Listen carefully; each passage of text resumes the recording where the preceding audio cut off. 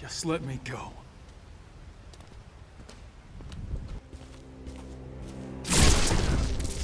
Blood of Kung Lao, descendant of the great Kung Lao, a common thief.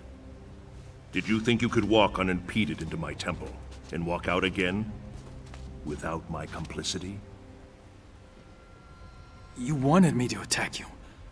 Why? To release your anger, make you amenable to reason. Make me feel like shit.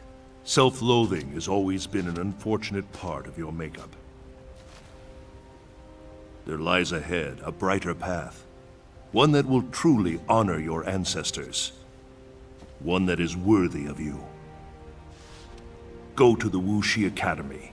Join the Shaolin, like Kung Lao before you. I can't. They won't accept. They care only about what is in your heart, not whom your heart desires. It's too late for me.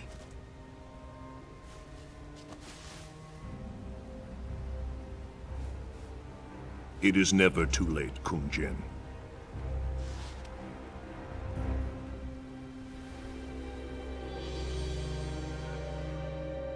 Your news of refugees is troubling. Their exodus to Earthrealm was not known to me.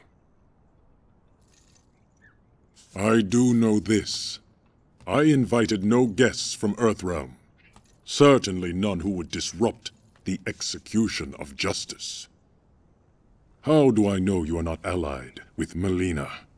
Perhaps her newfound power has earned her new friends. Friends? No.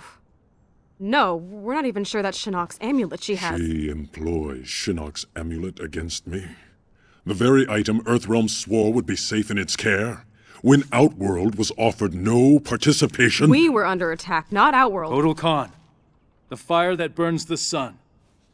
We are here because we share your concerns about the missing item. We intend no ill against your rule. At least one Earthrealmer can forge words like silver. But I recall an Earthrealm expression. There is more honor among thieves than diplomats. I've had the questionable fortune to be both, Emperor. But I'm telling you the truth. You are allied with Mileena. You may carry out your sentence. Kotal Khan, under Outworld law, I claim the right of defense. By combat. What? You're gonna fight a duel? To absolve us of all accusations. Denying the request brings dishonor upon the accuser. You know much of Outworld. Know, also, the duel ends in death. You have won nothing. Merely a few more seconds of breath.